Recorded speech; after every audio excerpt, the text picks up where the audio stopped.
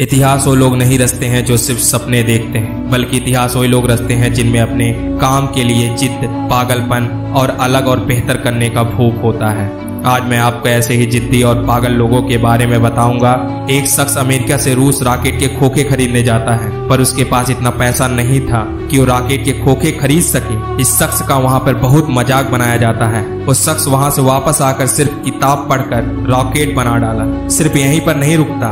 उसने अनाउंस किया कि वो एक ऐसा रॉकेट बनाएगा जो अंतरिक्ष में जाकर अपने काम को पूरा करके वापस आ जाएगा। लोगों ने कहा कि ये पागल हो गया है। ऐसा संभव ही नहीं है। लोगों ने हज़ारों कारण बताया कि कैसे नहीं हो सकता, पर उस शख्स ने किसी की नहीं सुनी। उसने कहा, मैं बनाऊँगा। ये पागल और चित्ती इंसान कोई और नहीं। इलोन मस्क है, जो इस दुनिया का सबसे अमीर आदमी है।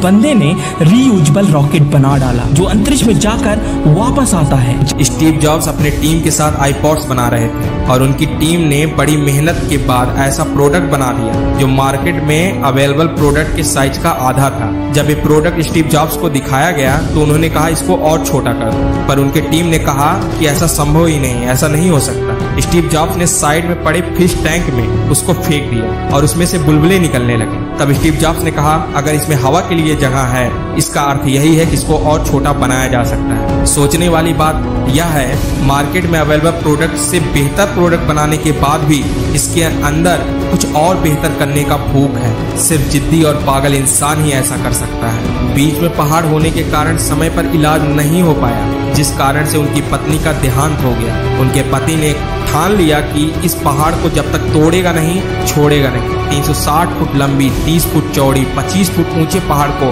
अकेले सिर्फ़ और सिर्फ़ छेनी और हथौड़े की सहायता से काट कर वहाँ पर सड़क बना दिया, जो साधारण लोगों को असंभव लगता है। जिद्दी और पागल लोग उसे संभव बना देते हैं। ये शख्स कोई और नहीं, गरीब मजदूर दशरथ मांझी था। आज इसे दुनिया माउंटेन मैन के नाम से जानती है। जहाँ हम और आप छह सात बार फेल हो जाते हैं बिज़नेस में तो कहते हैं बिज़नेस हमारे लिए बना ही नहीं, हमें जॉब करना चाहिए। वही दस हज़ार बार फेल होने के बाद थॉमस अल्वा एडिसन ने बल्ब बना डाला। अमिताभ बच्चन को ऑल इंडिया रेडियो से ये कहकर रिजेक्ट कर दिया गया कि उनका आवाज़ जो है वो बहुत भारी है। कोई दूसरा बंदा होता तो टूट जाता।